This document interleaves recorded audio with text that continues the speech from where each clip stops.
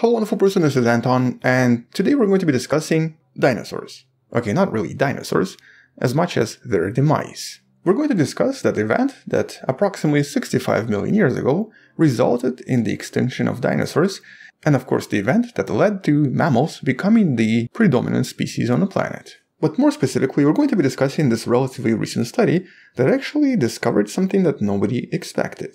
It looks like this event that was very likely caused by a really large asteroid, did not result in what we would refer to as a nuclear winter, a sudden cooling of the planet that might have lasted for thousands of years, dramatically changing the climate and thus leading to the extinction event, which was also previously used to explain how certain species, such as smaller mammals, were able to survive. In this case, it might have not actually happened that way. And so even though nobody debates the existence of the crater, or of course a super large collision resulting in a tremendous explosion, tsunami, various earthquakes, and potentially global wildfires across the entire planet, what actually is being debated are the months or years afterwards.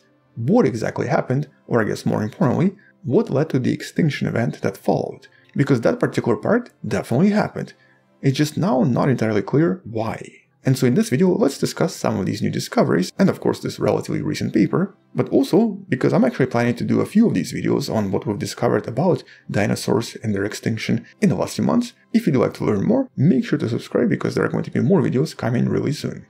So here's the paper. A recent publication with the title Steady Decline in Mean Annual Air Temperatures in the First 30,000 Years After the Cretaceous-Paleogene Boundary. And essentially what this particular study does is examine how the temperatures changed in approximately 4,000 years before the collision and 30,000 years after it. Specifically focusing on mean annual air temperature, also known as MAT, before and after the collision. But I guess the question in this case is, how are they doing this? Since the dinosaurs were not really keeping track of their temperatures, how can the scientists possibly know what the temperature was? And for this study, what the scientists did is analyze various bacterial fossils deposited in various samples of coal, with all of these coal samples coming from various deposits located in Canada. And here the scientists can actually see what sort of things these ancient bacteria were depositing inside their cells during those particular periods. Specifically, they can actually see if these bacteria were somehow changing the internal composition due to the changes in temperature. For example, certain bacteria located in certain climates will often thicken their cell wall during much colder periods, sort of like creating a thick blanket around themselves. Normally, these structures, even though they're really small, are detectable in various samples. And in this case, it's also important to realize that unlike dinosaurs or other complex animals, this particular event, despite being very destructive to larger animals, would have a very limited effect on most of the bacterial life, but the climate change, if it did happen, would very likely impact bacteria as well, and most likely would be very visible in various deposits. And previous studies have actually suggested that some of this was visible in various types of marine deposits and marine life. But it did not seem to affect these bacteria. The samples examined in this study did not show any signs that they were preparing for any kind of winter, with some of them even showing signs that they were actually preparing for some kind of a warming trend that lasted about 5000 years, but that also stabilized pretty quickly. Although here the warming event is not actually believed to be the result of the explosion or even the emissions coming from this particular explosion afterwards. It's believed to be related to something slightly different. Around the same time, within approximately a few thousand years, there was another major emission coming from the location known as the Deccan Traps, in essence, this was a really, really large volcano, a volcano located in India. And the emissions from this volcano are believed to have changed the climate and the temperature just enough to be visible in these bacterial samples. Well, when it comes to the collision resulting from this asteroid, the actual effects do not seem to be as profound or as visible compared to any samples investigated in this particular study, and that of course suggests something really major. It implies that this collision most likely did not change the climate that much. As a matter of fact, the climatic conditions might not have been the main reason why the dinosaurs perished. Now, obviously, the dinosaurs pretty close to the collision would be gone pretty much right away, but not all dinosaurs lived in the same location. So, what happened to the rest of the planet? Why exactly did dinosaurs disappear everywhere else? Well, in this case, the scientists can only speculate for now, but they did come up with some explanations. Although here it's also important to know exactly what they discovered. So first of all, based on everything we know so far, it's currently believed that this must have happened approximately 65 million years ago and very likely during springtime. And the reason the scientists believe this was springtime is because of the following tsunami.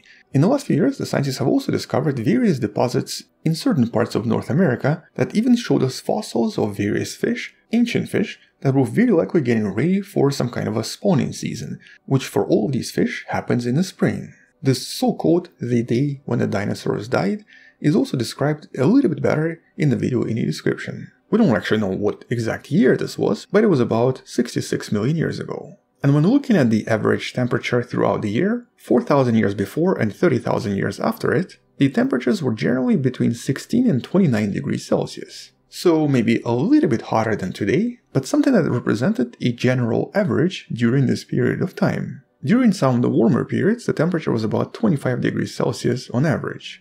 But none of these samples reveal any kind of unusual impact winter that was always predicted to be the result of this collision. Which basically suggests that if there was any kind of cooling effect or any kind of winter, it might have been extremely short. It might have actually only lasted for maybe a few months, possibly a few years maximum. The impact winter, or I guess the nuclear winter, seems to have never happened. And to some extent, there does seem to be the opposite evidence that there might have been a warming effect that lasted for at least some time. Although exactly what caused it is still unclear. It could have been the volcanoes. But then, what exactly happened? Well, there's really no clear evidence for anything yet, but one explanation is maybe all of this resulted in some kind of a really large dust cloud that very likely circulated around the planet for at least a year. I guess somewhat similar to these really large storms we sometimes observe on Mars. And so this dust cloud might have resulted in just overall darkening of the planet, which would kill off most of the larger plants, which would then lead to general starvation because a lot of the larger herbivores would not have anything to eat, perishing within just a few months, which would then collapse the food chain, resulting in a relatively fast demise of all of the larger dinosaurs. But obviously leaving one cousin of the dinosaurs, birds, alive.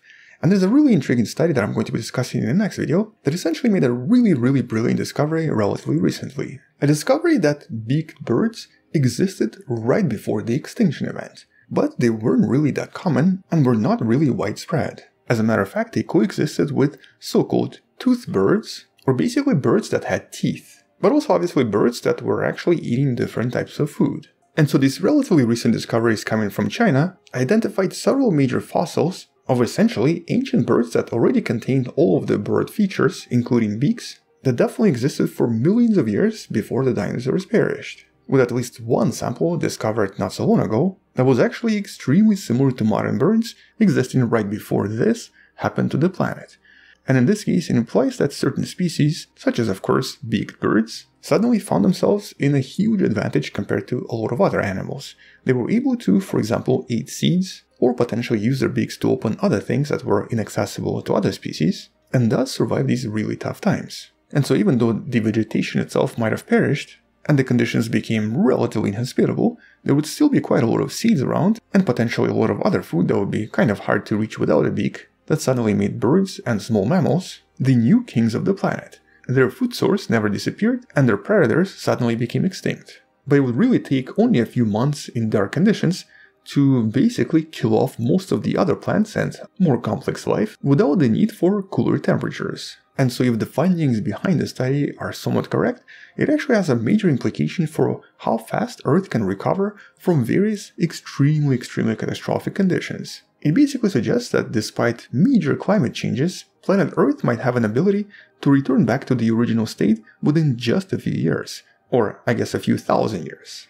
Even if the event itself is one of the most explosive events to have ever occurred in the history of the planet. And that's of course a pretty big discovery but also a discovery that needs to be analyzed even more because it would completely change our perspective on what exactly happened to dinosaurs and also what might have happened previously in other extinction events as well. And to do this, the scientists behind this paper are planning to look at more coal from other sites, including the sites in the US, in order to create a much more accurate temperature record right before and right after this event. But overall, what all of this kind of suggests is, of course, that we still don't really know exactly what happens when various large rocks, large asteroids, strike our planet.